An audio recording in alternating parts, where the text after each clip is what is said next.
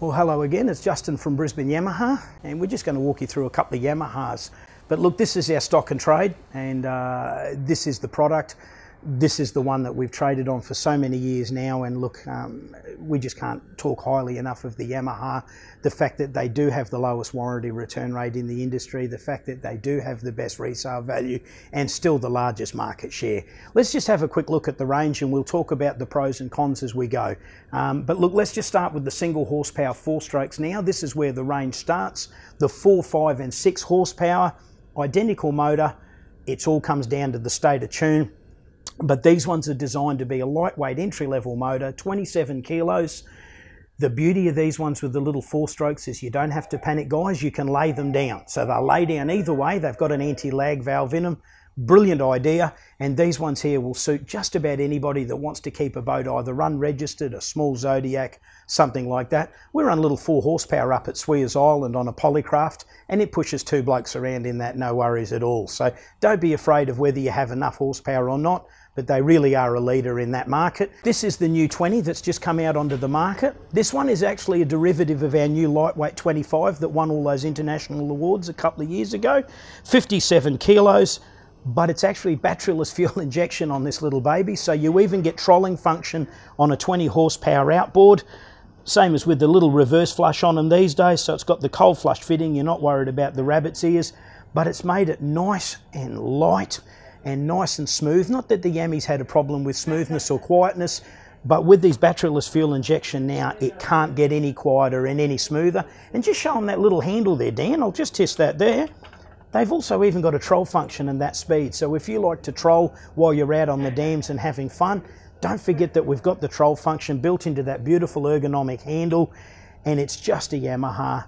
That's what you use. That's the most reliable one on the market. This is our 50 horsepower four stroke. They're all four stroke these days. Nobody's doing two stroke, no one of any reputation anyway. The four stroke Yamaha though, what is unique about this, this is actually our version of a 60. So it's detuned, but it's four cylinders rather than three cylinders. So it's a 1000cc or 996 but four cylinders as opposed to three. There is another brand that offer the same specifications and slightly cheaper. It's got a black cowl, but it's made in China. If you want something to last a little longer than the five or six years, this is where you'll go. It's got the four cylinders, but everything on it, as we've always said, is made in Japan. They're using their YDC30 alloy. We can't talk about that enough. And this one every component. They cast their own blocks, they put it together, and this block here is actually used as a 50, a 60, and a 70, and that's why, again, it's a class leading product with it. But when you're having a look at your 50 horsepower, just make sure that the one you're getting quoted on is made in Japan. Make sure that the gauges are made in Japan. Make sure that it's offering a full warranty on there. Make sure that the block is cast in Japan make sure that it's assembled in Japan. The Japanese do it best, and especially Yamaha. This is the one we love. This one's the, Ever, uh, the F70. This one has an extra row of valves, but also runs the high thrust gearbox. So if you're worried that a lightweight motor won't cut it, that a lightweight motor won't be able to give you the performance that you need, think again. This is the industry leader, this is the class leader, and this one here, we're getting better than three and a half K per litre. Fuel economy matters these days, guys. We understand that, but you lack nothing in, in performance. But what you're gaining is less than 120 kilos on your transom. And this one here is the biggest of the 1000cc range. Just over here, Dan, swing with us.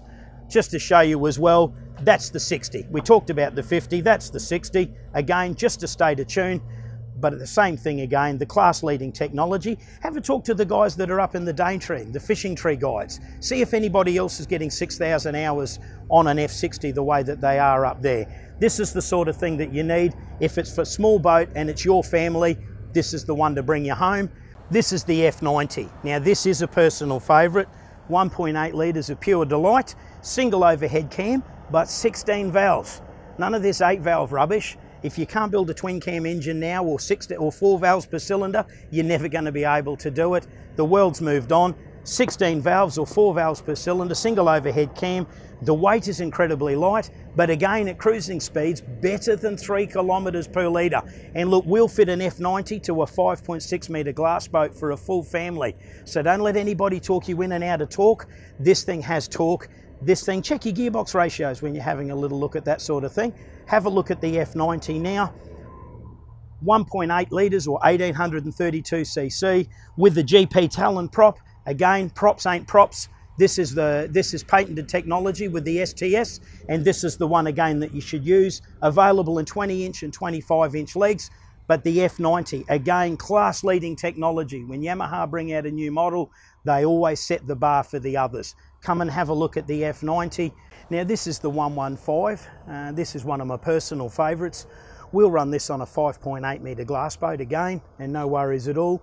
Same 1832 uh, 32cc engine, but a twin cam 16 valve instead of a single overhead cam. We've now gone to dual overhead cams, but again, everything that you need in there, four valves per cylinder, great economy, great mid-range torque, which is something a lot of people don't want to talk about with them. And again, with our gauges, you would have seen a previous YouTube with them.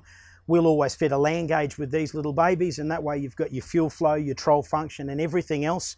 Most other companies now want you to run what they call NMEA and they want to run it to your sounder. Your sounder's for looking for fish and GPS locations. Guys, you don't need virtual gauges. Use the Yamaha gauges and then use your sounder for what your sounder was intended. The 115, again, very, very hard to beat. Built with, again, the Yamaha reliability. I can't emphasize the YDC30 alloy enough. This is the one, again, using the SDS alloy GP prop and it's going to again get the performance that we need. When we talk about legendary engines, this is the one the commercial operators use. I know there's other brands out there that have got a couple of hundred cc more, but again, eight valves per cylinder. Seriously, guys, this is where the action is. 2.68 litres, 16 valves. But again, commercial operators are expecting 5,000 hours out of these babies this is the one again that you want, the 150. This one here comes with the stainless SDS prop, Dan, if you want to show them that. And that's the one with the soft clutch, or they call them the hush props. Again, Yamaha came with that first to the market. That one there ensures that they drop in and out of gear very, very softly, very, very gently.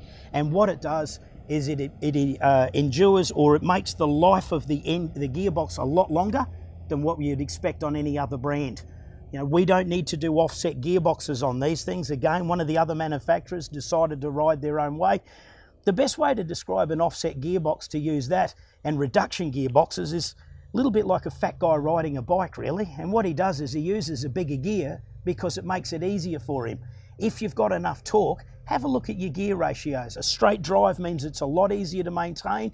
You get a lot longer out of the hours, but it's because we're not trying to create something out of nothing the engine produces the torque. Everyone talks about horsepower and outboards, but forgets to talk about uh, torque. And torque is the pushing power.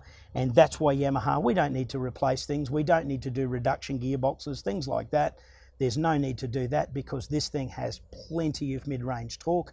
It'll do everything you need again. And again, the Yamaha. That's where you'll come home. There's a reason why more commercial operators in Australia and indeed the world use Yamaha outboards when it comes to our families, and we're all fathers, we all have kids, we all want to be using the Yamaha. The V6s, the 4.2, this is the one you should all be buying now. We use the same block for the 225, the 250 and the 300.